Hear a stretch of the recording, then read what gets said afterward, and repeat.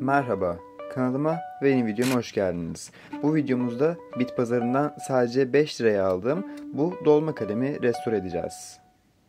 İyi seyirler.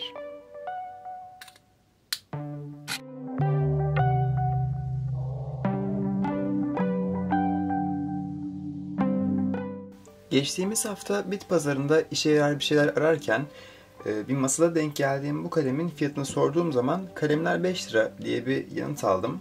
E, ağırlık olarak, görüntü olarak bu kalem çok hoşuma gitti. E, Çin malı bir kalem, Çin'de üretilmiş bir kalem daha doğrusu. Ve üzerinde de telaffuz edemediğim, şu anda ekranda gördüğünüz bir marka yazıyor. Bununla birlikte şu kasetçaları da aldım. Bunun tamirini çok uzun bir uğraş sonrasında hallettim ama maalesef bunun videosunu çekemeyeceğim. Çünkü hali hazırda tamirini yapmış bulundum. Aynı hatayı tekrar düşmemek için bu kaleme henüz dokunmadım. Sadece ufak bir baktım nedir ne değildir diye. Ve internette de aşırı detaylı bir bilgi bulamadım bu kalemle ilgili. 5 TL için ağırlık olarak bile değecek bir kalem gibi görünüyor. Şimdi ilk iş olarak bu kalemi temizlemekle başlayalım. Bu kalemdeki genel kirleri, yüzeydeki bulunan pislikleri temizlemek için izopropil alkol kullanmayı planlıyorum. Ancak bazı kalemlerde, özellikle plastik yapılmış kalemlerde izopropil kullandığınız zaman yüzey sisli bir yapıya sahip oluyor ve kalemi çöp etme imkanınız bile bulunabiliyor. Plastiğin yapısını bozuyor. Bu yüzden eğer izopropil ile temizlemek istiyorsanız ki derinlemesine ve muazzam bir temizlik sağlıyor izopropil, ilk önce kalem üzerinde çok göze batmayacak ve çok büyük olmayan bir bölgede bir ufacık bir test yapmanız lazım. Bu bile yeterli şu an yaptığım test. Kalem üzerinde herhangi bir sislenme, buğulanma, bir renk değişimi bir şey görünmüyorsanız ki şu anda tecrübe ettiğim kadarıyla herhangi bir sıkıntı görünmüyor. İzopropil kullanarak kalemini temizleyebilirsiniz. Bu %99'luk izopropilin bir miktar suyla seyreltilmiş hali. Yaklaşık %80-%75 civarı olduğunu hatırlıyorum. Kalem üzerindeki kirleri basit bir şekilde temizliyorum. Çok ıslak olmasını istemediğim için de başka bir peçeteyle kuruluyorum. Şimdiden çok güzel parlaklığa sahip olduğunu görebiliyorum kalemin. Bunu bir kenara bırakalım ve kapakla uğraşalım. Kapak biraz daha kirli görünüyor. O kolayca temizlenecektir.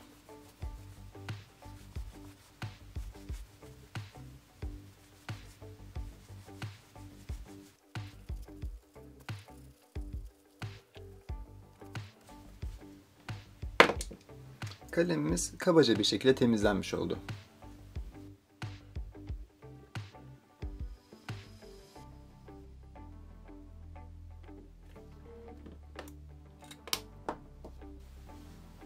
Şimdi bu kalemi yazmaya yarayan kısımla mekanik kısmıyla kozmetik olarak görünen kasa kısmı olarak iki parçaya ayıracağım. İlk olarak kapağı söküyorum. Ardından da buradaki vidayı söküyorum. Ve bu kalemin içindeki kartuşu çıkartıyorum. Kartuşun bu bölgesinde bir çatlak var. O yüzden bunu çöpe atmam gerekecek. Geri kullanamayacağım. Tabi havyayla ve yapıştırıcıyla falan bunu düzeltme imkanımız bulunuyor ama zaten bunlar e, neredeyse bedava olduğu için artık e, ihtiyacımız yok buna. Bunu çöpe atacağım. Bu kalemin üstünde bir miktar mürekkep kalmış ve tahminimce bunun içinde de bu bütün bu kalemin iç mekanizması kısmında da bir miktar mürekkep var ve bu mürekkep kuru yani hissedebildiğim kadarıyla kuru. Ee, o yüzden bu kalemi içerisindeki bütün mürekkebi boşaltmamız gerekiyor. Bunun için de izopropil alkolden yararlanacağım yine.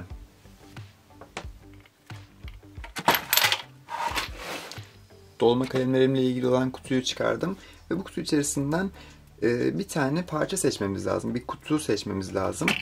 Kalemin içerisindeki fazlalık mürekkep ve izopropil bunun içerisine akacak. Bir kapak kullanacağım bu işlem için. Bir tane de şişe alalım. İçerisine su koyup kalemi yıkamamız gerekebilir. Ve şu anlık buradan bu kadar şey ihtiyacım var. Bir de bir kartuş alırsak bunu doldurabiliriz. Kalemin kasasıyla kalemin uç kısmındaki plastik parça farklı plastikler olabiliyor bazen. Bu yüzden yine bir miktar izopropille ufacık bir alanı test etmemiz lazım.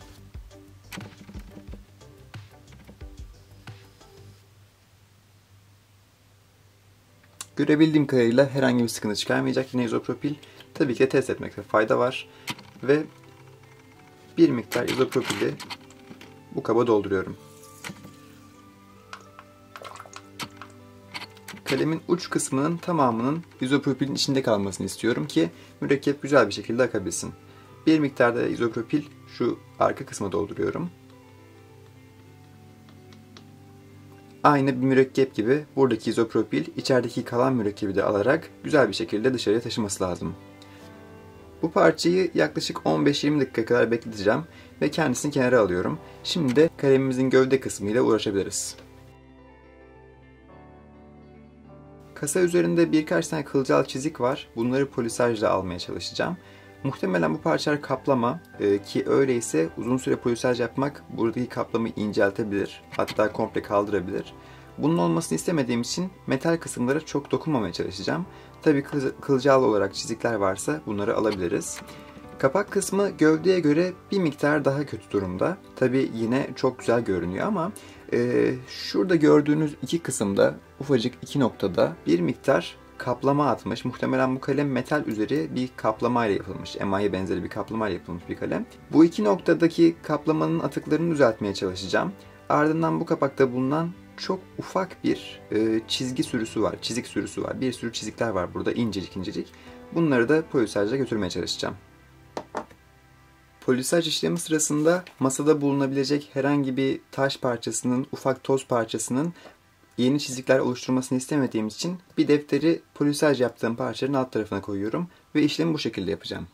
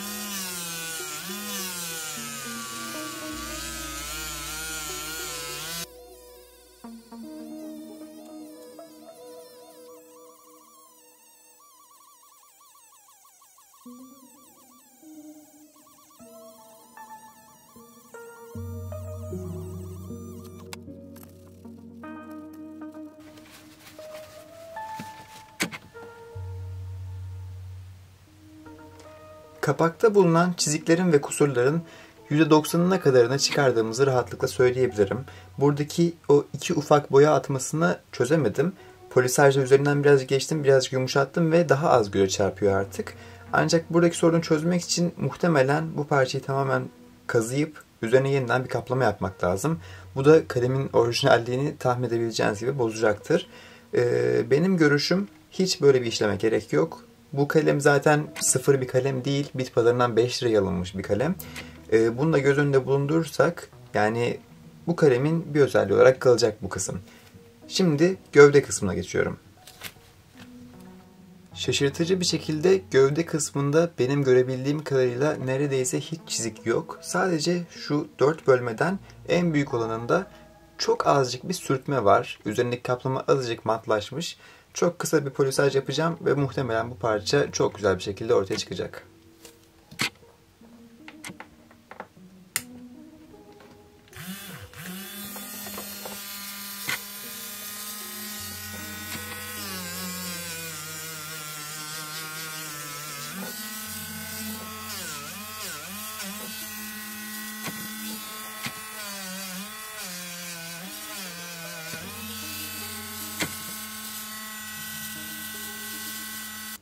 Bu parçanın işlemi bu kadardı. Şimdi bu kapağı yapıştırmaya geçiyoruz. Bu kalemi ilk aldığımda ve incelediğimde fark etmediğim ve muhtemelen sizin şu anda görmekte güçlük çekeceğiniz kılcal bir çatlak bulunuyor bu kapak kısmında. Muhtemelen bu yüzden yerinden kolayca çıkıyordu. Şimdi bu kapağı azıcık açacağım. İçeriye düşük viskoziteli, kılcal çatlaklara bile iyice işleyebilen bir yapıştırıcı süreceğim. Yapıştırıcı kurduktan sonra da bu parçayı yerine takacağım. Bu çatlak o kadar kılcal ki yani şu anda bile görmekte güçlük çekiyorum. Tırnağımda azıcık bu çatlığı açıyorum ve çok azıcık bir yapıştırıcı damlatıyorum buraya.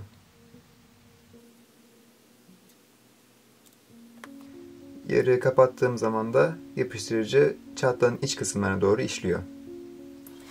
Ve bir miktar cila sürdüğüm bu peçete parçasıyla bu çatlağın üzerinden azıcık geçiyorum.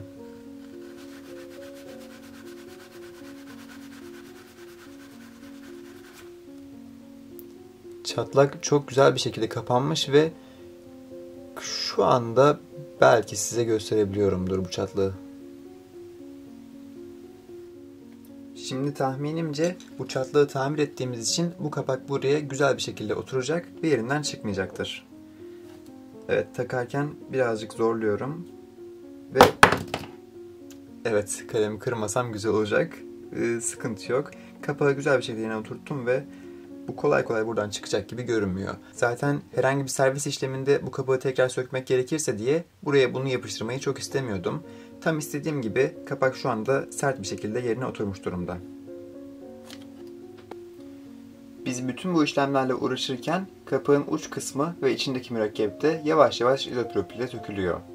Şimdi ucu alacağım, bir miktar temizlemeye çalışacağım ve yeni mürekkep takıp kalemi test edebileceğiz.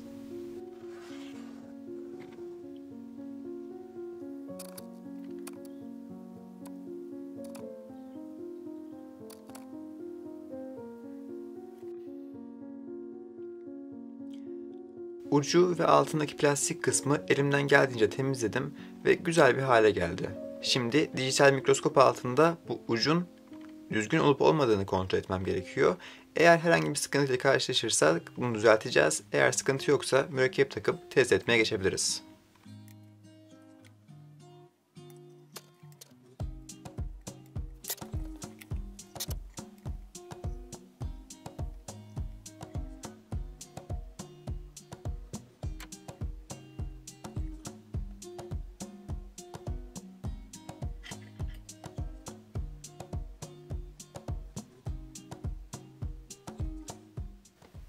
Benim görebildiğim kadarıyla bu uçta hiçbir sıkıntı bulunmuyor.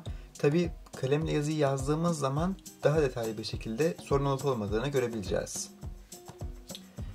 Elimde 3 şişe mürekkep bulunuyor. Bunlardan iki tanesi Waterman markasının, bir tanesi siyah, bir tanesi mor renkli mürekkepleri. Bir tanesi de Lemmy markasının koyu lacivert mürekkebi. Burada dolum yapacağım kartuş epey temiz durumda. Bu kartuşu ve yanında birkaç tane yedek mürekkebi, çeşitli renklerde mürekkebi bana hediye eden çok sevgili arkadaşım Anılcan'a teşekkür ediyorum. Onunla birlikte dolma kalemler hakkında başka bir video yapma planımız da var ama geçtiğimiz hafta sonu yapamadık. Umarım ilerleyen zamanlarda onu da izleyeceksiniz. Ee, yeşil renkli Waterman mürekkep var bunun içerisinde.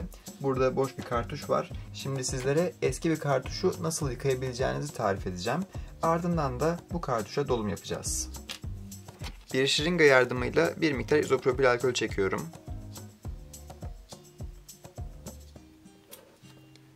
Ve kabı delmemeye dikkat ederek bu izopropili bu kartuşun içerisine sıkıyorum. Bu işlem çok kirlenebiliyor, kirletebiliyor etrafı. O yüzden son derece dikkatli olmanız lazım.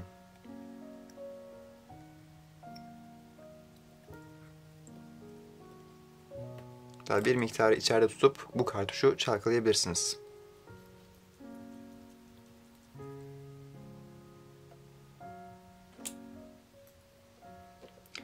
Bazı inatçı mürekkepler uzun süre kuruduğu zaman kolay kolay çıkmıyor. Böyle bir durumla karşılaşırsanız izopropili bir miktar içeride bekletebilirsiniz. Temizledikten sonra bir miktar suyla bu işlemi tekrarlamamız gerekiyor. Temizlendikten sonra da kartuşumuz burada gördüğünüz gibi pırıl pırıl bir hale geliyor. Şimdi başka temiz bir şırınga kullanarak bir miktar mürekkep çekiyorum.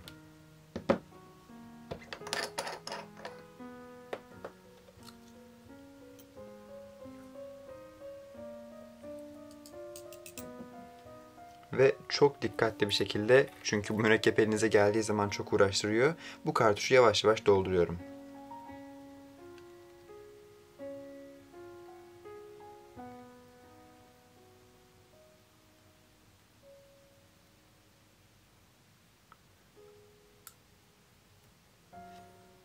dökülmemesine dikkat ederek dik bir şekilde koyduktan sonra bu şırıngayı güzel bir şekilde yıkayacağım ve bu mürekkebi kalemimize takacağız.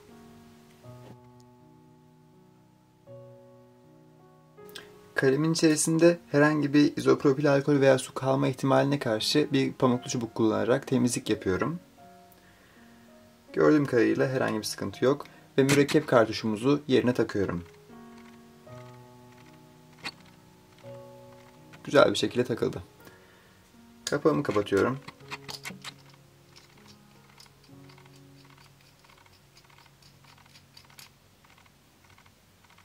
Ve bu kalemi dik olacak bir pozisyonda birkaç dakika bekletiyorum.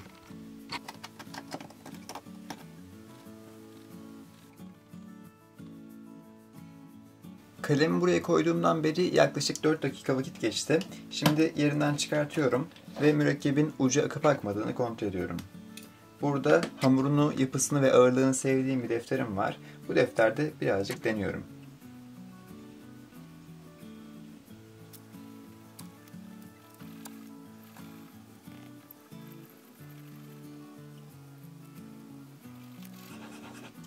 Bir miktar yazı yazabildik ama yeteri kadar mürekkep uca gelmemiş. Biraz daha bekliyorum. Bu mürekkebin iyice kalemin içine işlemesi lazım. Sonrasında tekrar deneyeceğim. Kamerayı kapatır kapatmaz kalem yazmaya başladı. Hala mürekkep kusursuz bir şekilde akmıyor. Bazen atlamalar yapıyor ama mürekkep yavaş yavaş kalemin ucuna geliyor. Ayrıca bu mürekkebin burada gördüğünüz renkle hiçbir alakası yok neredeyse. Eğer bir örnek bulabilirsem size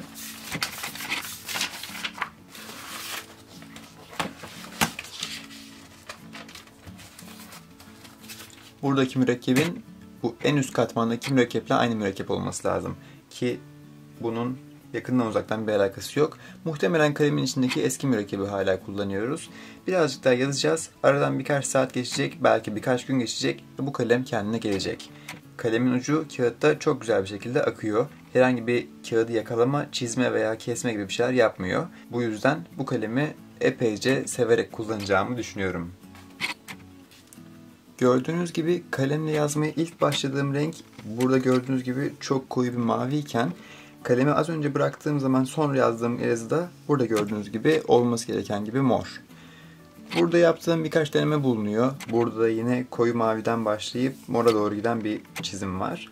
Ve burada da kalemle ilgili çeşitli testler var. Şimdi birazcık daha yazma pratiği yapalım. Ardından da videomuzu bitirelim.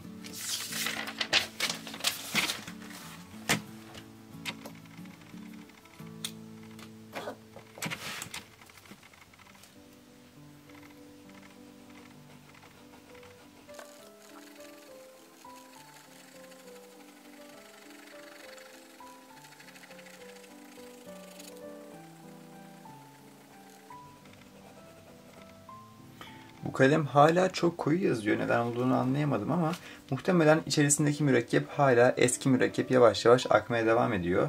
Yani tahminimce belki bu kartuşu bir kere bitirdiğim zaman, ikinciye geçtiğim zaman artık mavi mürekkepten eser kalmaz diye düşünüyorum.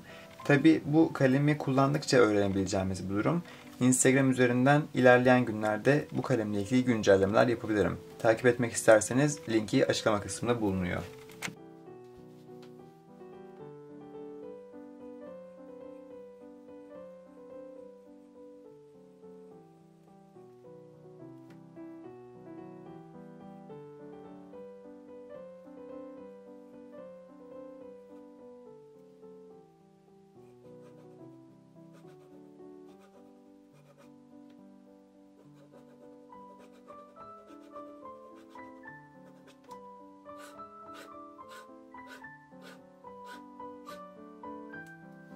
Çok hızlı yazdığım zaman ufak tefek atlamalar yapıyor. Ancak bu yazmaya ilk başladığımdan beri çok daha iyi bir konuma gelmiş durumda. Ve ilerleyen günlerde eminim ki bu çok daha aza inecek. Kalemin ağırlığı ve yazma stili, yazma kalınlığı çok hoşuma gidiyor. Ve bu kalemle keyifli yazılar yazacağıma inanıyorum. Muhtemelen uç kalınlığı medium tarzı bir uç. Bu arada ben sürekli bu kalemin ne kadar ağır olduğundan sizlere bahsediyorum ama kıyas yapmak gerekirse burada içinde kartuşuyla mürekkebiyle birlikte bir Lamy Safari var. Kendisi 17.28 gram. Burada yine aynı şekilde mürekkebiyle birlikte bir Skrix 88 var. Kendisi 24 gram. Ve bu kalemde Kapağı ile mürekkebi ile birlikte 58.50 gram. Yani yazarken ne kadar ağır olduğunu hissedebiliyorsunuz.